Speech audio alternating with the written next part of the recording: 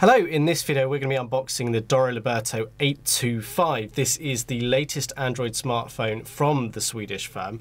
If you're not familiar with Doro, they have traditionally spent their time creating mobile devices for seniors, basically engineering the phones to be simpler to use for those perhaps less au fait with technology.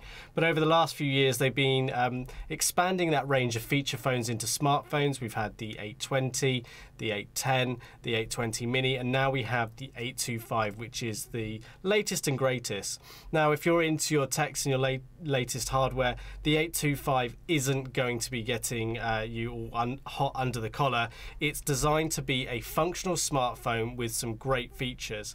Now, whilst it's aimed more at the senior market, there are some great features on here for someone who just wants a no nonsense, simple to use mobile device with a touchscreen, but perhaps gets confused or doesn't need all of the advanced features of some of these ones we see online or in the high street stores. So without further ado, let's show you around the product.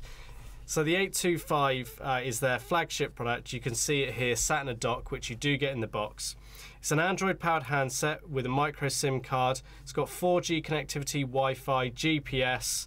Um, so it's got what you need to get up and communicating. If we open it up, here's the phone. We'll come back to that in just a moment. Now this is a pre-production sample, so the box contents may change come the final um, model, but this would usually include some sort of documentation, but it's uh, empty here in this particular case. We've got a set of in-ear headphones with 3.5 millimeter jack to connect to the phone and an inline microphone, so for hands-free calling. We get provided with a USB cable, so that's to go into the mains adapter or into a computer for charging. And at the other end, you've got the micro USB connection, which goes into the handset itself. A nice touch here is they've got a nice recessed dimple um, on the connector here, so you can easily tell with the two ridges, uh, if you can just see that there, so your finger can feel that this is the top and the correct way to go into uh, the micro USB port. Simple touches like that that make it easier for people with hard of sight uh, to be able to feel and know that that's the right way to connect the cable. We've of course got the battery, so it's a removable battery here on the 825 2000 milliamp hour battery. Now this is an EU mains adapter provided here, but uh, if you buy this from Clove, you will get a three-pin UK mains adapter here uh, in the UK. And then lastly, what you get included is a charging dock. So this is a nice solid piece that sits on the desktop. We've got rubber all on the bottom to stop it slipping.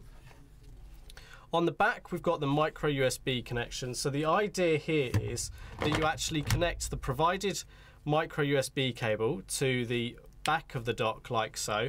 Then you'd connect the mains power adapter to that. You'd sit it on a desktop and then you'd get the phone, which we'll bring in now. Take this out of the packaging. And you sit it in the dock like that. And that is how you then charge the handset. Nice and simple. No fiddling about with cables. You can dock it in and out and that'll keep it charged. You'll see your notifications on screen. But nice and easy for someone um, who perhaps doesn't want to fiddle about with the cable and things like that. So that's the dock. But let's get back to the phone because that's probably what you're slightly more interested in. So if we peel off the protector here, on the front, we've got a 5-inch touchscreen display. It's a 720p resolution, so it's not full HD, it's perfectly functional. We've got three physical buttons down here at the bottom. We've got the running apps key, the home key and the back button. You can see we've got a microphone. On the bottom here we've got the micro USB uh, connector for charging. You can see nice sort of indicators here so it actually shows that this is the charging connection. So for someone who's not so FA they know that's uh, where the cable goes. On the right side of the device, we've got the volume up and down keys. We've got a power button and we've got a physical camera button here. You can see how we've got icons next to them and you've got uh, little ridges on them so you can actually feel um, each button as well. On the top, you've got the 3.5 millimeter headphone jack to use the supplied headphones, or of course you could use your own. And then on the left side, we've just got these three connectors, and that's for the actual charging dock that we've just shown you. If we flip the phone over on the back, we've got the camera. It's an 8 megapixel camera with LED flash, records at 720p. Here we've got an SOS button, um, so in an emergency you can press and hold on this and it will um, communicate with your contacts that you've programmed into the handset to let them know that um, you're in an emergency, you need assistance. You've got the Doro logo down here and then you've got a loudspeaker which outputs around about 83 decibels. We pull off the back cover, we have got the micro SD memory card slot. You've got 8 gigabytes of internal storage, but you can expand it here with a 32 gigabyte micro SD card. And you've got your SIM card slot, and then you've got the battery compartment. So if we actually pop in the supplied 2000 milliamp hour battery, that sits in there. The cover goes back on like so, you clip it in place, and then we're ready to go. So we're going to press and hold the power button on here to start it up. So it is an Android smartphone, but it's sort of been customized by Doro to be uh, nice and easy to use. Full 4G connectivity, so um, as things go, it's a, a, fully featured phone in that respect. There's, there's not much to limit it, you don't have... There you go, you can hear how loud it is because it's got 4G, you've got those connectivity options with wireless and Bluetooth as well, but it's, it's just not going to have um, some of the hard, hardware specs in terms of processing speed and RAM that some people may um, desire of a smartphone. But for most people, this is going to work perfectly um, well. So it's just powering up, and in a moment, we can take you through the setup. So on this handset, once it's all set up, you'll be able to add all your email accounts. You can do your text messages, your phone calls, web browsing, your social media. You've got all of that functionality that you'd expect of an Android handset or a modern smartphone. It's just packaged slightly differently to uh, what you may be used to. So now we are here at the setup screen, and this is one of the big features that makes the Doro stand out not all of us are au fait with technology and need a little bit of assistance or because we're not sure. So the big feature they're really playing on here is how easy this is to set up even if you're a first time user. So it's telling you that there's no SIM card in the phone, which we know is correct. You've got the option up here to actually change your language and you've got a whole array of different languages. We can skip this step. See how big this button is actually on screen. So you can go back to this screen here We've got the physical buttons that we can use as well if we want.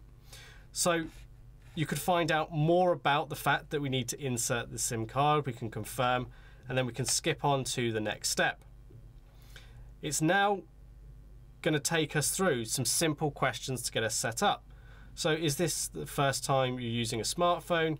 Yes, I'm a beginner. No, I've already used one. Well, of course, this is going to depend on you, but I'm just going to go through yes, I'm a beginner I'm not going to go through every step, but just to give you an idea of how good this process is.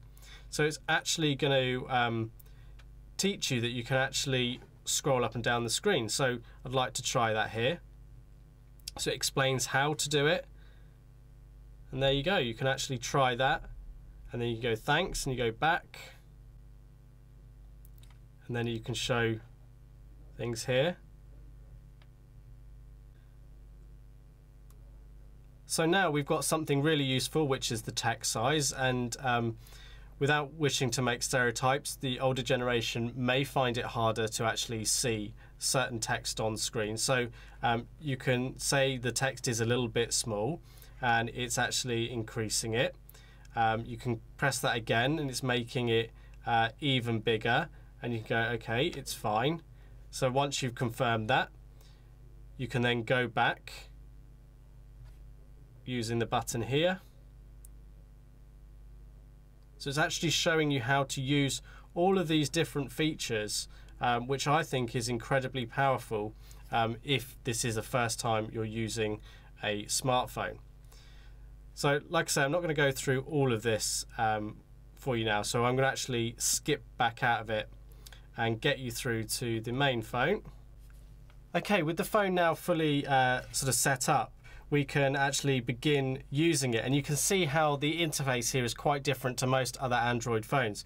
Nice big, really clear icon. So we've got the call icon here, press it once, and see how the menus are really quite different to most other phones and it makes everything really simple so you can go a specific number earlier calls a contact that you may have we haven't actually saved any contacts have quick buttons for things like your voicemail when it comes to viewing what do you want to view your messages your call log your pictures and videos your emails your calendar see how it all makes sense what it's trying to do is take away some of the mystery that uh, may be encountered for some users and try and make it a little bit more logical um, for most people.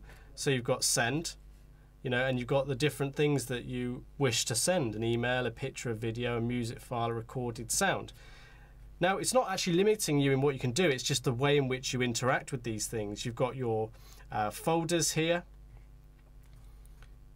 So you've got two pages to your folders, so you can still um, have that sort of setup. You've got your apps drawer here in this what, a folder called apps. You can add certain ones here.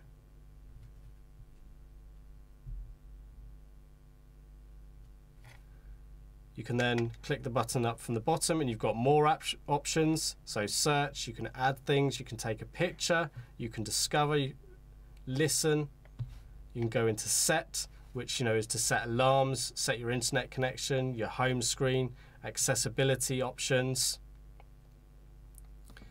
We can scroll down from the top, which is traditional with Android, but you've got these nice big buttons as toggles. So for different things such as airplane mode and torch, you don't have to tap them like you would in normal Android. You click on the toggle and it activates the different mode. We can click the spanner icon to go into um, some more of the settings and we can go down further so here a system option and you've got more and more options and it's not until you get to the bit for advanced settings that you drop back into uh, traditional Android as uh, you or I might um, know it or if you haven't seen it before this is what more uh, traditional Android would look like. Now you can switch off these features um, from Doro but that kind of it goes against the point um, of having this phone in many respects. So you can see how this Doro uh, 825 has been engineered to be simple and easy to use. You've still got access to things like the Play Store and unfortunately whilst we haven't set it up on here that's where some of these things fall down. Doro have made lots of effort here, but when you go into Play Store, you revert back to the more traditional sort of Google setup. Now, if you're a user of this or planning to give this phone to someone who starts to delve into the Play Store, they're probably going to be slightly more comfortable in terms of what they're doing, but the um, software and tweaks for those with uh, limited sight or hearing is only as good as um, Doro can keep control over, and what they have done is absolutely fantastic. So that's a quick look at the Doro Liberto 825. Be sure to check out blog.clove.co.uk where we'll have a full hands-on review, and also visit clove.co.uk where you'll be able to pick this up SIM-free uh, for you to pop in any SIM card and use it on your mobile network. But thanks for watching.